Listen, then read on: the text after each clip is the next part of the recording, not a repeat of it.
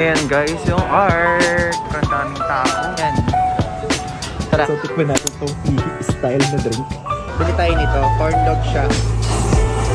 So, nakakabili na ako ng kitopo. Dito siya. Hello guys! So another day, another adventure. So ngayon guys, pupunta tayo ngayon sa Shilin. Pupunta tayo sa Shilin, sa Rauhe, sa sa iba't ibang night market dito sa Taipei. Pero before that, is mag-breakfast na muna tayo. So nakikita ko sa TikTok, sikat na sikat tong Nenes Chicken na to dito sa Taipei. Hindi ko alam kung meron dito sa Pilipinas, pero itry na muna natin bago natin simulan ang ating araw. Ah, sobrang lapit lang nito sa hotel ko and dito sa Taipei main station guys. So ito yung menu niya. Ayan, hindi ko naiintindihan ano, walang prices, pero sa loob na lang tayo mag-inquire. Tara, kumain tayo. Presto.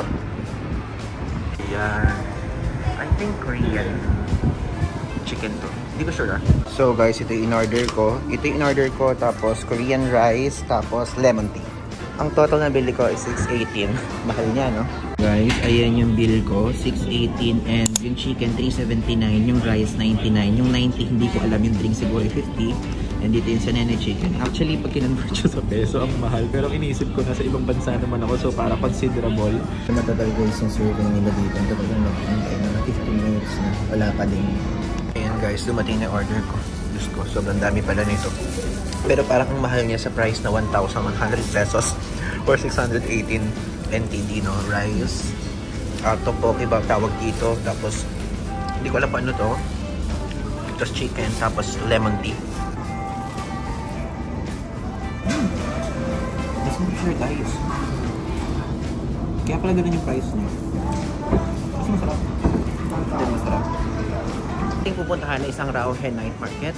And sasakay kayo from Taipei Main Station sa Red Line papuntang Green Line. Ito yung mga sasakyan niya na train station. Medyo tanghali na nga ako ngayon nag-design kaya ganitong oras. Ngayon pala ako lalabas. And sakto, night market yung mga pupuntahan natin kaya okay lang. Okay, so ayan na yung train. Walang ganang tao dito ngayon. Ayan, sundan na lang natin yung signs. Exit 1 daw dun sa Rauhe Street Night Market. Ayan. Walang tao na ano. Di ba pagka na night market madaming tao? Oh my God, Lord! Napakataas po! Wala ba bang itataas to? Napala nag-elevator na lang ako kung alam ko ganito din. So, dito tayo tinuturo ng Google Map. Kaya lang bakit parang wala ako nakikita dito yung mismong parang arco, ganon. Nakikita ko doon, napakataas ng stairs. Oh my God, guys, after dito, ito na, oh. Ayan na yung arc. So, ayan guys, yung arc. Ginagawa. Dito pala sila nakapila, hindi pala sa entrance. Sikat ata yan. Ayan guys. Yung mga street food dito. Daming tao, tignan nyo. Tignan nyo sobrang dami.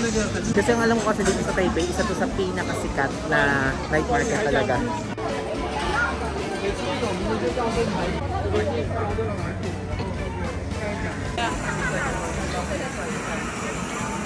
Ayan, isa to sa mga nakikita ko sa YouTube na guys. Ayun no, roasted beef.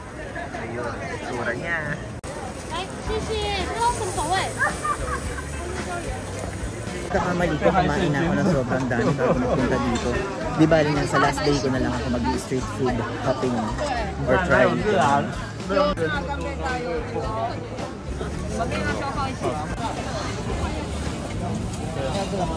Yeah. Bukod tangi guys hindi ko na lang nakikita dito yung stinky tofu. Yun na lang. Grabe, nasa bungad pa lang ako. Tignan nyo yung ulo. Oh. Sobrang daming tao. Uy, it looks like very high quality to oh. Cool. Ito yung mga parang ano, sweet potato balls.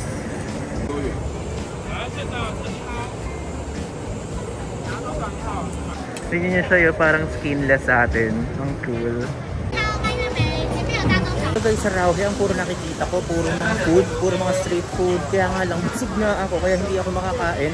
Pero magta-try tayo ng ibang snacks dito na tipong yung light lang, ganun. Pero syempre, meron ding mga ganyan, yung mga bilihan ng case, merong yung mga ganito, yung mga clamp machine ba tawag dyan, may mga ganyan. Ayan din, yung mga bilihan ng sapatos at sandals, meron dito. Ang cute, ano to? Cupcake or what? Ayan, ito na lang yung bibili ko yung sweet potato balls. Nakikita ko to, oh. Tapos kung paano siya niluluto, guys. Guys. Ayan, oh.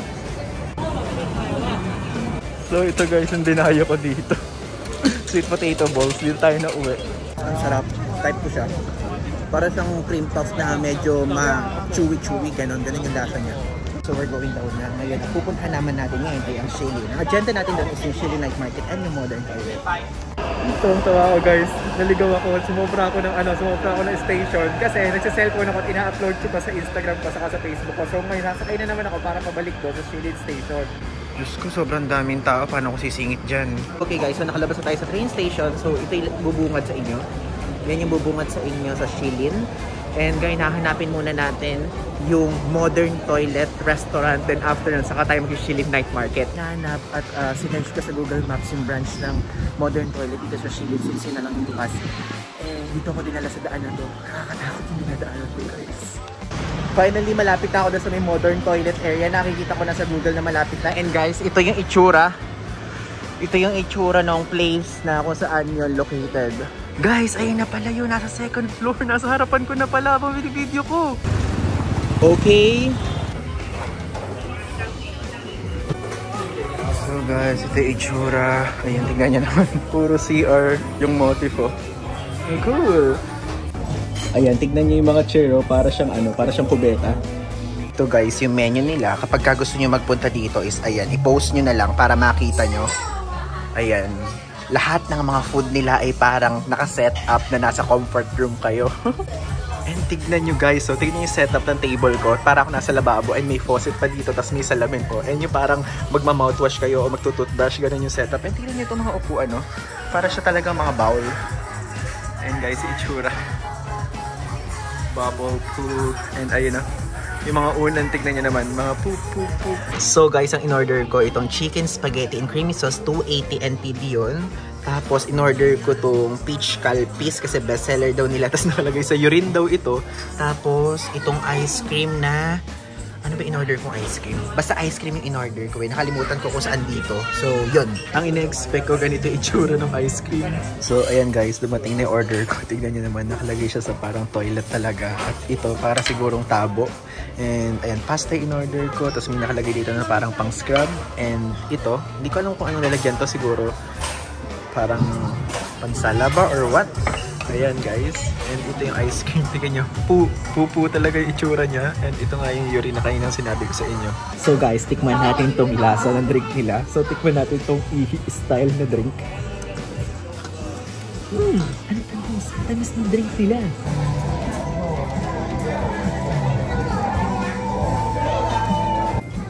Ayan guys, yung total bill ko dito sa modern toilet, 638 NTD yung total niya. So, 280 yung mismong food, 150 yung ice cream, tapos 150 itong drinks na to.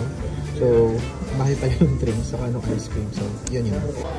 Tignan nyo guys, ang pool, may bubble pool area dito. Ayan, yung bata naglalaro.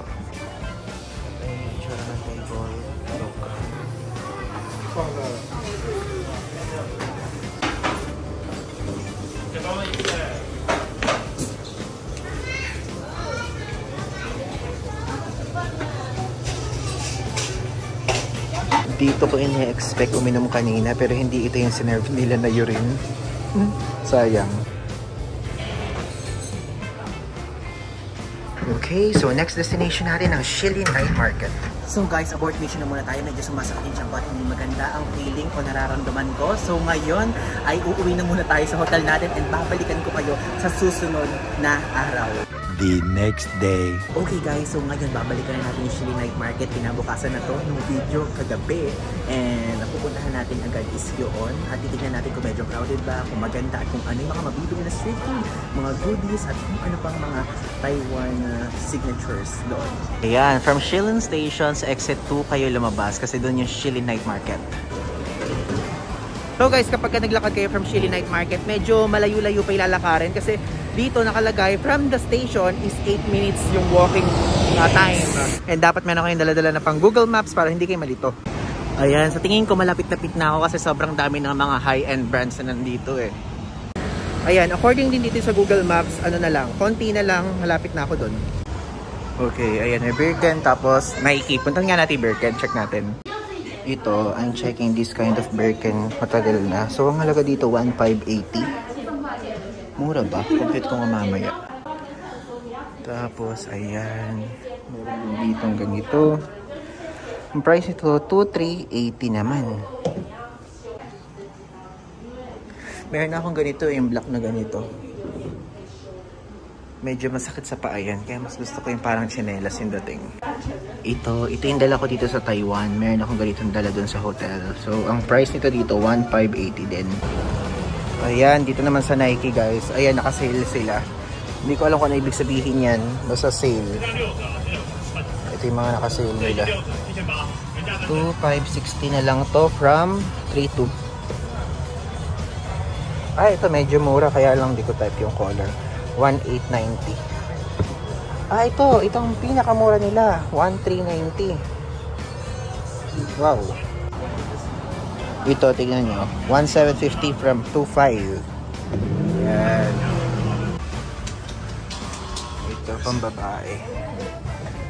1,890. 1,800. Okay, so nag-check lang tayo pero hindi tayo bibili kasi limited lang ang ating fund for today. Ito guys, dito na ako sa Shilling Night Market. Ito yung isa sa mga pinipilahan. Para lang siyang hot star chicken. Ayan guys. Ito yung para nakita natin sa Rawhead. Meron din sila dito. Ito yung kinain natin kahapon. Joke, ito ba yun? Parang may cheese to. Ayan. Meron din dito uh, uh, orange juice. Yan yung price guys. Ito oh, mga kikiam. Fishbowl, 35 NTD ang price. Ay, wow guys, so tignan nyo, Nike. Mas malaking Nike na place. Finally, nakarating na rin tayo dito sa Shilin Night Market. Ayan. Tara, pasukin natin. Ayan. Meron dito mga laruan niya mga bata na huhulihin yung hipon at saka yung fish. Ayan o. Tapos yung parang sa Tom's World, yung ganun. Cool.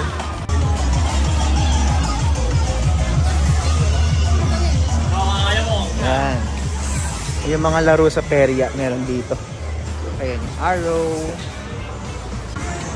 Ayan, naglalaro sila yun. Ayan. Actually, mas less crowded dito kaysa sa Rawhead Night Market. Tapos doon, mas focus yung food doon. Dito naman yung mga games, yung mga souvenirs, yung mga pasalubong. Dito naman sa Shilin.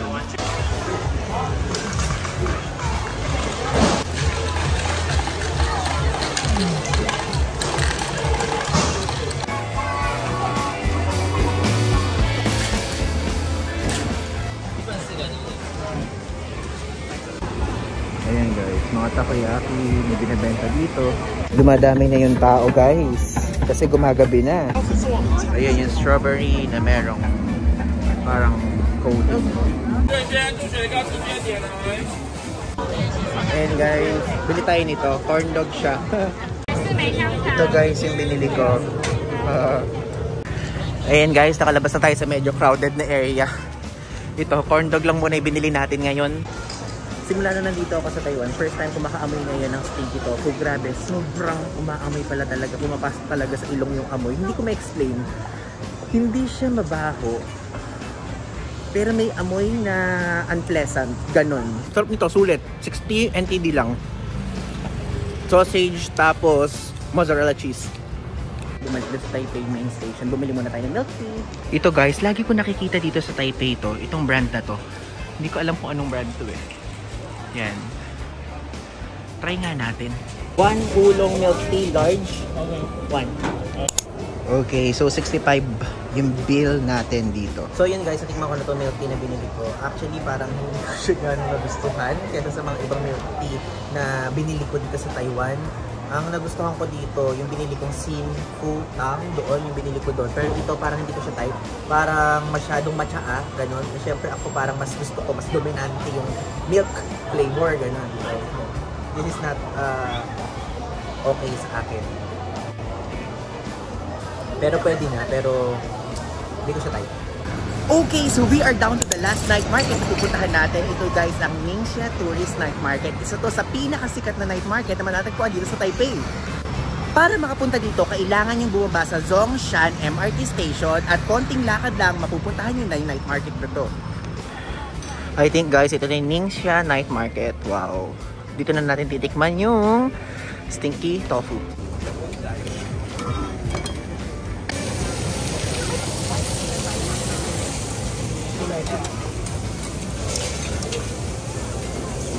Guys, until now, di pa rin ako nakakita ng stinky tofu.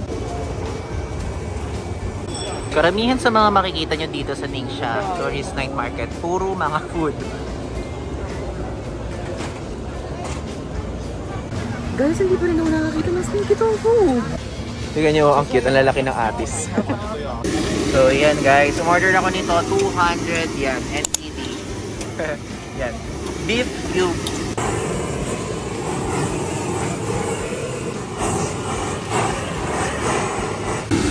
Ayan guys, parang medyo madami siya. No? 200 naman kasi parang less than 400 pesos. So guys, ngayon tikman na muna natin itong in-order natin na beef cube. Mm, sarap! Para ako guys sa samgyup na makakapal yung beef. Sarap guys. Tapos yung pinaka-seasoning niya, salt. Mmm. Ngayon, sarap.